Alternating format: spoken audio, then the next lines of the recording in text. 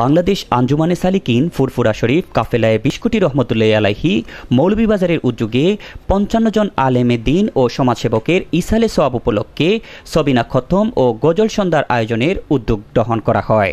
উক্ত আয়োজনে মরহুম পীরে কামিল মৌলানা আবদুল্লাহ বাদেশ্বরী বিস্কুটি রহমতুল্লাহ আলাহি মরহুম পীরে কামিল মৌলানা মসুদ বাদেশ্বরী বিস্কুটি রহমতুল্লাহ আলাহি মরহুম পীরে কামিল মৌলানা ইয়াকুব বদরপুরি রহমতুল্লাহ আলাহি মরহুম পীরে কামিল উস্তাদুল উল্লামা আল্লামা মরহুম রমিজউদ্দিন রহমতুল্লাহ আলাহি মরহুম পীরে কামিল শামসুল উলামা আল্লামা আব্দুল লতিফ চৌধুরী ফুলতলাই সাহেব কিবলা রহমতুল্লাহ আলাহি মরহুম মাওলানা হরমুজ উল্লাহ সায়দা রহমতুল্লাহ আলাহি মরহুম পীরে কামিল, মরহুম মৌলানা নিজামুদ্দিন বিস্কটি রহমতুল্লাহ আলাহি মরহুম পীরে কামিল, মরহুম মৌলানা ফজলুল হক চৌধুরী কালাপুরি রহমতুল্লাহ আলাহি মরহুম মৌলানা মফজুল হোসেন পীরে কামিল মরহুম মৌলানা ফজলুল হক রহমতুল্লাহ আলাহি ফাতেহাবাদী, মৌলভীবাজার টাউন কামিল মাদ্রাসার প্রতিষ্ঠাতা মরহুম মৌলানা আব্দুল বাড়ি সিদ্দিকী রহমতুল্লাহ আলাহি হিলালপুরের বাসিন্দা মরহুম সৈয়দ আবু শাহজান মরহুম হজরত মৌলানা উমর আলী সাহেব মরহুম হাফেজ আব্দুর রাজাক চৌধুরী সহ পঞ্চান্ন জন আলেমে দিন ও সমাজসেবক ব্যক্তিত্বদের ইসালে সোয়াব পালনের উদ্যোগ গ্রহণ করা হয়। এছাড়া উক্ত আয়োজনে সিদ্ধান্ত গ্রহণ করা হয় গজল প্রতিযোগিতা দু হাজার বিশ মদিনা সুর। উক্ত অনুষ্ঠানের মাধ্যমে প্রতিভাবানদের খুঁজে বের করাই মূলত গজল সন্ধ্যার মূল উদ্দেশ্য। ঢেকে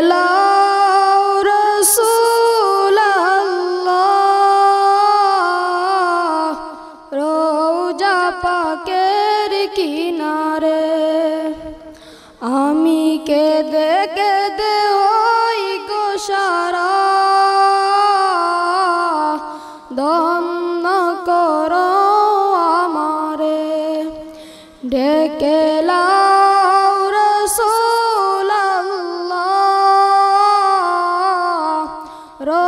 আল্লাহ, পাকের কিনারে। আমি কেঁদে কেঁদে হই গো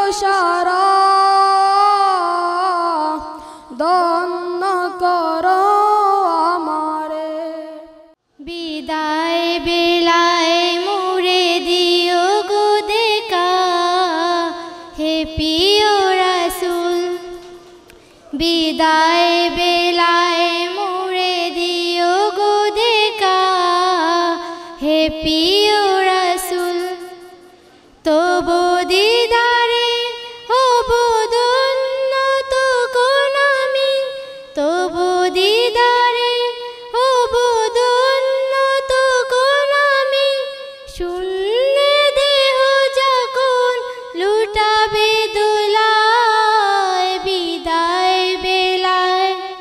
স্থান মেহেরজান বিবি, রহমানিয়া দাখিল মাদ্রাসা রহমানবাগ মৌলভীবাজার পৌরসভা, মৌলভীবাজার।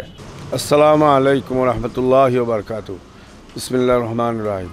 বাংলাদেশ আঞ্জুমানে সালেকিন ফুরফুরা শরীফ কাফেলায় বিস্কুটি, রহমতুল্লাহ আলাই মৌলিবাজার মৌলিবাজারের উদ্যোগে সুরের পাখিদের নিয়ে এবং আমাদের একটা মধ্যখানে একটা সবিনা খতম হবে। সবিনা খতম, কোরআন শরীফের খতম হবে। পরের দিন আমরা আমাদের মৌলিবাজারের বহুত প্রবীণ ফির সাহেবরা এবং আমাদের উস্তাদ ফির উনাদের নিয়ে এবং আমাদের আত্মীয় স্বজন, এলা- এলাকাবাসীর মায়, মুরব্বীরা, আমরা পঞ্চাশ জন পঞ্চাশ জন মুর্দেগান স্মরণীয়, পঞ্চাশ জন মুর্দেগানের আমরা একটা ইসালে সবের আয়োজন করেছি। এর ভিতরে গজল প্রতিযোগিতা থাকবে, কোরআনের সবিনা খতম থাকবে।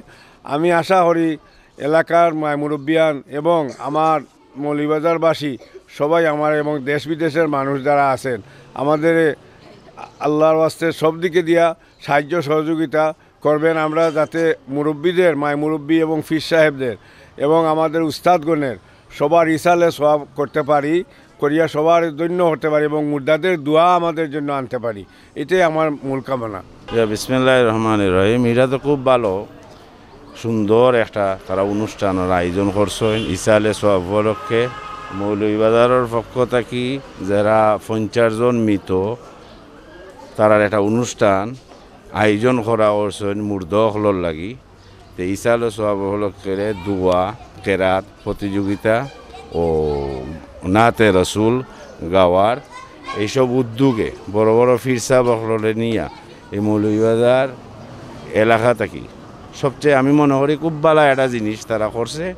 কথা বলছেন এটা আমরা যতটুকু সহযোগিতা লাগে, আমরা এলাকার বাসী সব মিলিয়া, এই মৌলভীবাজারের বাসী আরও যারা যারা আসেন তারও আইয়া উদ্যোগ নেওক এটার মাঝে। খুবই ভালো হইব। আসসালামু আলাইকুম রহমতুল্লাহ। আগামী দশই মার্চ এর ভিতরে আমরা রেজিস্ট্রেশন সম্পন্ন করতে চাচ্ছি ইনশাআল্লাহ। মদিনার সুর হচ্ছে একটা রিয়েলিটি শু আমরা আমাদের পক্ষ থেকে এই প্রথমবারের মতো, প্রথম বার্ষিকে আমরা আয়োজনটা অ্যারেঞ্জ করেছি। আমাদের সাথে আমাদের হুজুরা আছেন। হাফেজ, আলহাজ হাফেজ মোহাম্মদ আবুল হোসেন খান, ইসলামী সাংস্কৃতিক সংসদ। এটা আজকের নয়, এটা ঐতিহ্যবাহী। এখানে আমরা কেরাত প্রশিক্ষণ দেই, কারি সোসাইটি আছে, গজলের শিল্পীগোষ্ঠী আমাদের আছে, অনেক দিনের। তো আমরা আমাদেরই হাতে গোনা, আমরা মৌলভীবাজার থেকে আমরা প্রতিভাবানদের সন্ধানে আমরা সবসময় দৃঢ় প্রত্যয়ী। আমরা চাই আমাদের অনুষ্ঠানের মাধ্যমে আমরা কিছু প্রতিভাদেরকে নিয়ে আসব এবং তাদেরকে নিয়ে আমরা গজল সন্ধ্যা অনুষ্ঠিত করতে চাচ্ছি ইনশাল্লাহ এটা একটি ব্যতিক্রমধর্মী একটি অনুষ্ঠান। এক নম্বর হচ্ছে অনেক পুরাতন যারা আছে হ্যাঁ অনেক পুরাতন আলিমুলামারা আছে বা পীর সাহেবরা আছেন, ওনাদের ইসালের সবটা সেরকম হয় না আর কি তো ওই পুরনো যারা আছে, ওনাদের সবার একটা লিস্ট করে এটা ইসালে সব মাহফিল হবে। সেখানে মানে পুরো দিন কোরআন খতম হবে এবং এটি বিশেষ একটি গজল প্রতিযোগিতার আয়োজন করা হয়েছে আর কি সেই গত গজল প্রতিযোগিতায় বিশেষ করে পুরো যারা এলাকার আছে বা আশেপাশে আছে, সিলেট বিভাগের সবাই রেজিস্ট্রেশন করবে এবং এখান থেকে আমরা প্রতিভাবানদেরকে খুঁজে বের বের করব।